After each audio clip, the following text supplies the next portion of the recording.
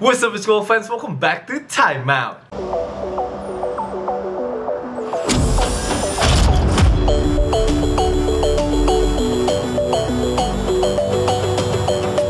Balik bareng gue Padilla, kita kembali lagi ke info wasit hari ini dari 10 Juni 2022 Time out geng, seperti kalian ketahui sekarang ini gue lagi ada di Boston untuk meliput NBA Finals. Kemarin sih game ketiga, atmosfernya pecah pecah men. Asli TD Garden rame banget kemarin Dan juga ini bukan mungkin juga final pertama kali sejak tahun 2010 Jadi itu kenapa fansnya Boston bener intuit banget Apalagi sama Draymond Green ya kemarin ini. Jadi I had so much fun. I was so blessed kan juga bisa ngobrol dengan LSK Walaupun cuma sebentar. Ini idolanya Gen Z kali ya kalau LSK ya.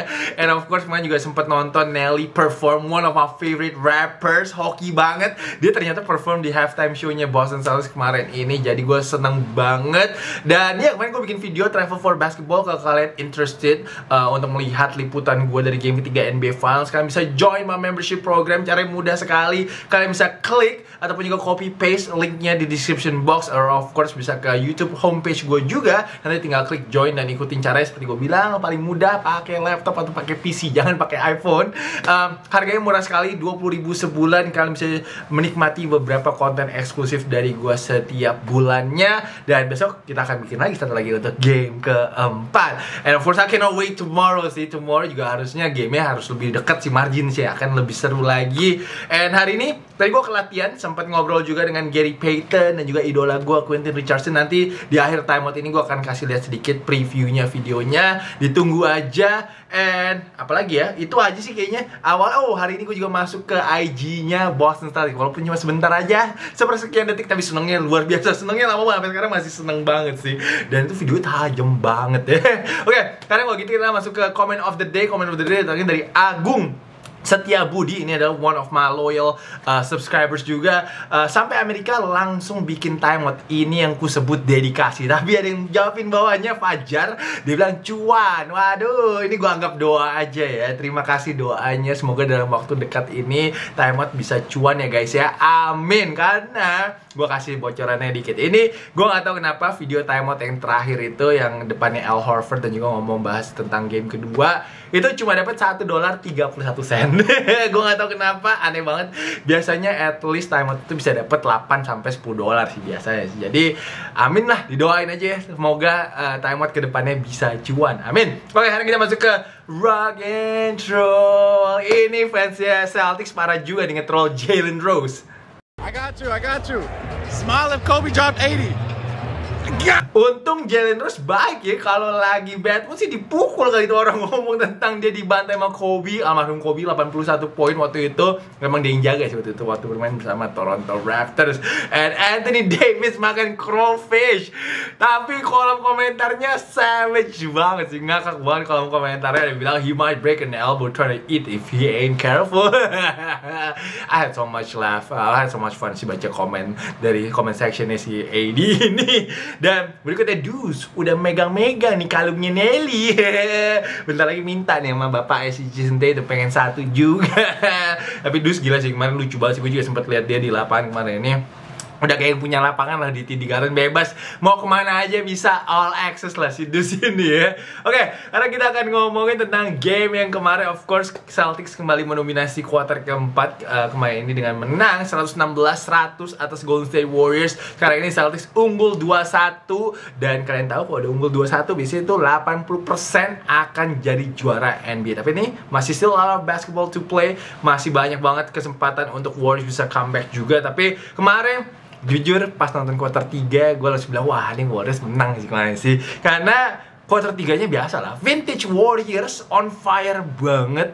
Uh, Clay udah nemuin ritmenya Steph was on fire dia 15 poin kalau salah di quarter ketiga ada satu juga yang dia 4 point play ditabrak sama Al Horford. Warriors comeback kalau salah ketinggalan 18 poin kemarin nih jadi dia sempat unggul satu poin gue langsung kayak oh shit kayaknya Warriors ini tapi ternyata itu semua hanya untuk dibantai di kuarter keempat sama Celtics. Uh, Celtics mendominasi kuarter 4 dengan skor 23-11 dan series ini di final sepertinya kalau lihat dari patternnya ini adalah quarter 3 Warriors melawan quarter 4 Celtics. Tapi Celtics quarter 4 gila sih. Kalau dilihat dari grafik ini grafiknya yang quarter 4-nya belum selesai yang kemarin ya. Uh, 23-11 kan harusnya yang kemarin. Tapi secara total Celtics itu plus 40 marginnya hanya untuk di quarter 4 selama NBA Finals ini. Jadi mereka uh, menang di saat yang crucial sih menurut gue sih. Dan Celtics ini kemarin di quarter keempat menurut gue fokus banget untuk matiin Steph. Dan Warriors pemain lainnya tidak ada yang step up sama sekali. Jadi Steph kemarin setelah on fire di quarter ketiga dia hanya mencetak 2 poin saja di quarter keempat. Dan makanya kalau nggak salah satu dari lima tapi Steph kalau dilihat dari patternnya dia juga selama NBA Finals ini, dia sayur banget sih di quarter 4 sih. 3 game di NBA Finals ini selama quarter 4 dia cuma 6 poin totalnya. Uh, belum pernah 3 poin sama sekali. That is so unsteph Curry banget sih. apa ya sebutannya? Bukan hal yang Steph Curry banget lah. Dia nggak 3 poin sama sekali di quarter keempat. Jadi gue nggak tahu nih ada apa dengan Steph dan quarter 4 sih.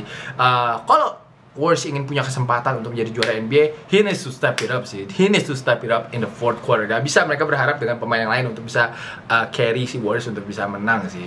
Uh, kemarin juga ada concern saat Steph of course ketiba nama Al Horford terakhir-terakhir apalagi gara-gara Draymond Green kayaknya. Tapi uh, dia masih senyum-senyum aja kok mainin di, di bench. Uh, so I'm guessing he's okay. Tadi pun juga Steve Kerr udah mengeluarkan statement kalau dia akan bermain nantinya di game keempat. And of course tadi ada report juga uh, datang ke uh, harusnya tadi latihan tapi ternyata tidak latihan secara formal si Warriors ini. Uh, datang ke latihan juga tadi press conference dia jalannya nggak ada pincang sama sekali. So he looks good man. So he will he will be ready to go and Steph kemarin walaupun memang di kuarter 4 sayur tapi dia still top scorer 31 poin untuk Warriors. And Clay seperti gue bilang found his touch kemarin di babak kedua dan dia pun mencetak 25 poin Ntar, dia babak kedua kuarter 2 ya. Kuarter 2 kayak main nemuin touch ya si Clay ya. And sayangnya om podcaster Draymond Green mainnya hancur lebur. Hancur hancur hancurnya kemarin ini. Total dia 2 poin 7 rebound dan juga foul out. Uh, yang terakhir main dia pengen ngajakin ribut loh uh, wasitnya yang kulit hitam itu kemarin. Gila gue nggak tahu sih dikata-katain apa pasti FF lah pokoknya. Terus si wasitnya ngomong gue bisa baca bibirnya di TV gitu dia ngomong kayak do something do something. Draymond cuma ngeliatin aja sih itu sih. Tapi um, karena gue mau nanya sama kalian ya, gue mau nanya sama kalian. Kalau kalian sebagai fans NBA, kalian setuju atau enggak kalau Draymond ini tetap bikin podcast selama NBA Finals ini? Dia kayak niat banget, pulang langsung gue harus bikin podcast nih. Gue harus cari views nih untuk konten gue Tapi kalau gue, mungkin kalau gue jadi temennya uh, mungkin ya emang itu haknya Draymond untuk bikin podcast. He has the free time to do it. Uh, tapi menurut gue kalau untuk finals untuk playoff oke okay lah. Untuk playoff he can do it. Tapi menurut gue untuk finals harusnya dia lebih fokus sih.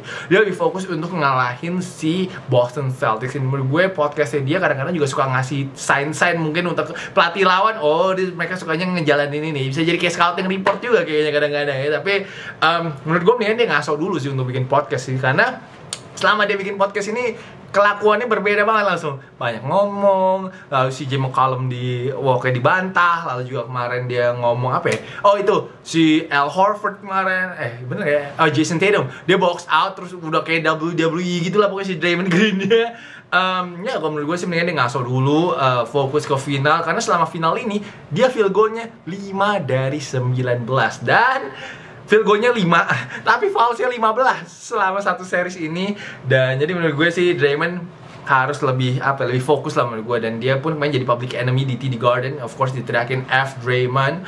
Uh, istrinya marah di uh, Instagram. Uh, pemain Warriors pun juga nggak senang pada bilang nggak classy banget fansnya Boston Celtics. Beda sama Adam Silver. Adam Silver I just want them to have fun. I just want them to have fun. Walaupun memang League Office mungkin berharap nggak kayak gitu tapi ya Boston Celtics fans are just having fun lo nggak bisa gimana-gimana lagi dan uh, Draymond mau marah, pemain yang Warriors juga mau marah, gimana orang fans Warriors juga nimpuk Charles Barkley? What you gonna say about that? Gitu loh. Lalu juga pasti Draymond juga adalah pemain yang keluar saat di game Memphis itu kasih jari tengah ke fans Memphis. So, that's not classy as well.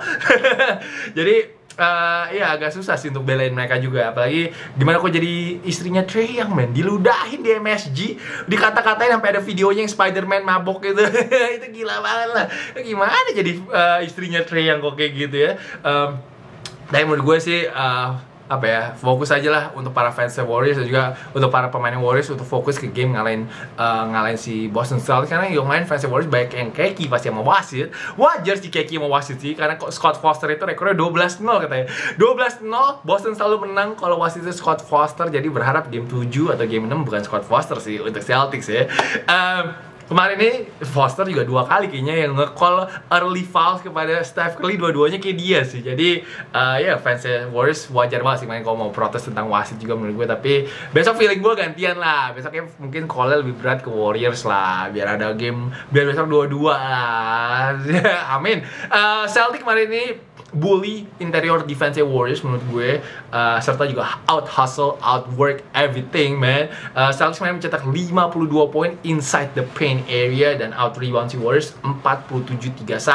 Kenapa Celtics banyak uh, point inside the paint area karena mereka kemarin just drive the ball man drive the ball dan spacingnya bagus banget sih jadi mereka bikin apa ya kayak bikin kosong aja gitu driving lane-nya. Sehingga pemain kayak Steph Curry kayak Draymond Green kemarin nih Otto Porter itu dibantai semua one on one sama pemainnya Celtics sih.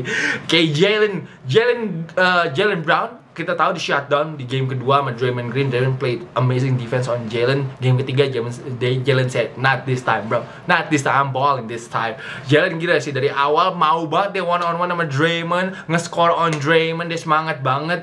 Uh, jadi menurut gue kemarin memang apa ya stepnya para pemain Celtics itu lebih cepat aja sih pada defense si Warriors sih. And of course Uh, Tatum juga impresif banget kembali menunjukkan skills playmakingnya dia. Gila sih passingnya dia ke Marcus Smart ke Robert Williams sih kemarin right on the money all the time menurut gue. Uh, jadi ini um, udah next level Tatum sih menurut gue sih dan dia kemarin juga bagus banget sih nggak settle banyak banget untuk jump shot. Uh, dia juga banyak banget attack the rim finish at the rim which is finishingnya dia juga bagus banget Steph berkali-kali jaga Tatum nggak bisa berkutik men nggak berkutik pemain Celtics field goalnya 10-14 saat Steph Curry menjadi primary defendernya mereka tapi emang defense Warriors main ancur-ancuran sih.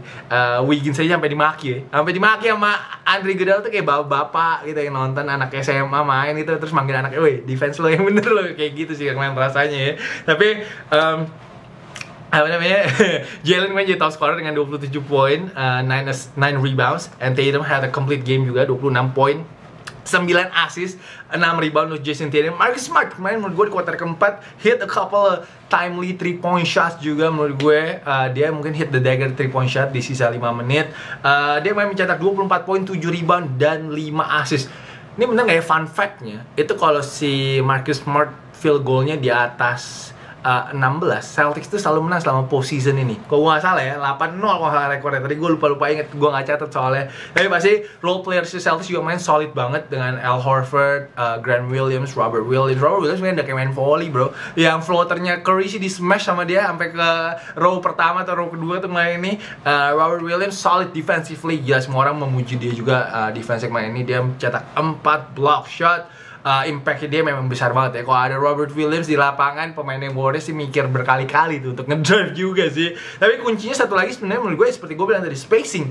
Uh, spacingnya mereka bagus banget sih. Um, ada adjustment yang dilakukan sama si Ime Yudoka. Pemainnya semua ngebuka sih. Ngebuka nggak ada yang ada di paint area sama sekali sih kemarin ini agar uh, Jalen Brown, Jason Tatum, Derek White, siapa lagi? Pokoknya Marcus Smart kalau mau ngedraft bisa dengan leluasa kemarin ini. Uh, dan kalau memang pemain Warriors yang nge-help ataupun uh, mereka collapse defense mereka bisa kick out keluar sih untuk 3 point shot kemarin ini. And ya yeah, besok game keempat akan menarik sih. Ini dua tim yang menurut gue mau melakukan adjustment luar biasa sih. Adjustmentnya dua-dua pelatihnya luar biasa banget. Jadi besok kita tunggu aja adjustment apa yang dilakukan sama pelatih-pelatih ini lagi. Tapi uh, Warriors belum pernah kalah back to back si Boston juga main belum pernah kalah back to back.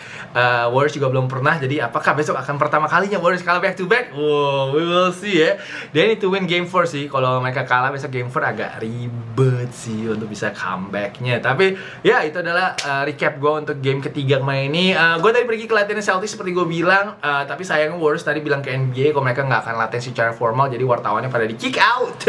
Pada di kick out semua tadi setelah ada sesi wawancara dengan beberapa pemain tapi JP nggak keluar. JP di press conference man. Pak gue tadi ngincar banget pengen interview J uh, Jordan Poole ya. Uh, anak Jakarta Selatan idolanya anak Jakarta Selatan saya tidak ada. Tapi untungnya masih dapat interview sama Quentin Richardson idola gue dan itu kenapa gue suka sama Los Angeles Clippers. Gue ngefans banget sama podcastnya dia di Knuckleheads. And of course Gay Payton II so ini adalah sedikit previewnya. Kalau kalian ingin nonton secara full kalian harus jadi member